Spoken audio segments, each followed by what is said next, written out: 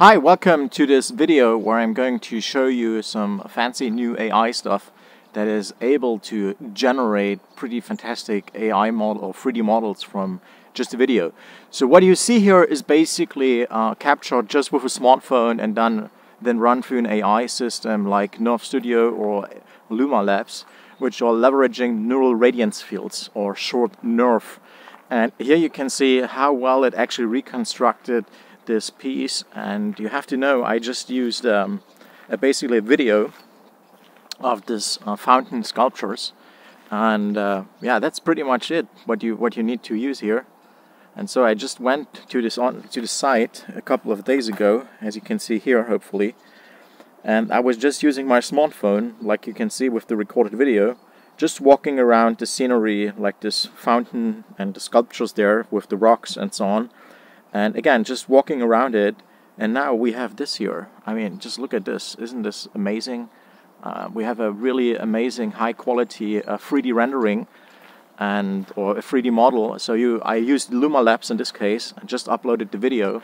Um, after like half an hour or so with AI cloud processing, it uh, generated a NeRF.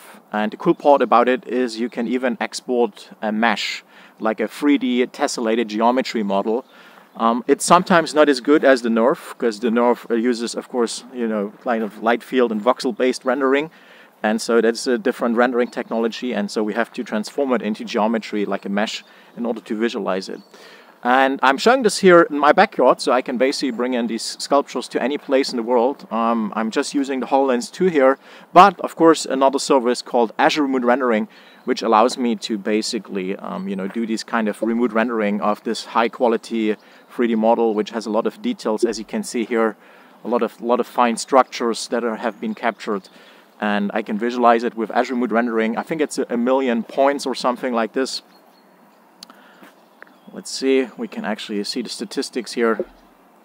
Yeah, it's around a million points, so that would not be possible natively in the HoloLens, but no problem with Azure Remote Rendering. So awesome stuff these days, what we can do with this NeRF tech, and I think it's an amazing piece for content creation, especially when we're thinking about the immense content that is needed for metaverse solutions. But think about like you can just clone real world now and bring it and visualize it and basically create your own. And you could even try out like bring this piece to your own garden and, and try this stuff out, right? So a lot of possibilities with uh, these new advancements with AI models.